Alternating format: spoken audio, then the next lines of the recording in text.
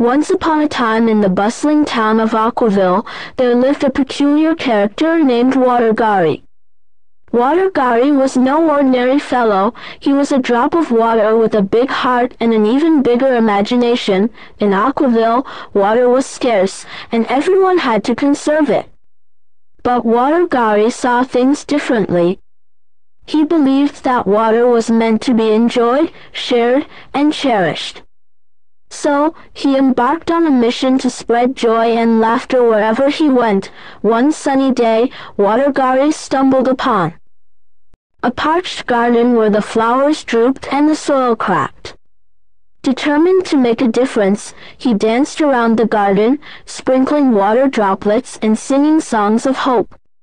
Slowly but surely, the flowers began to perk up, and the garden bloomed with vibrant colors. News of Water Gari's magical garden spread far and wide, reaching the ears of Mayor Drip, the leader of Aquaville.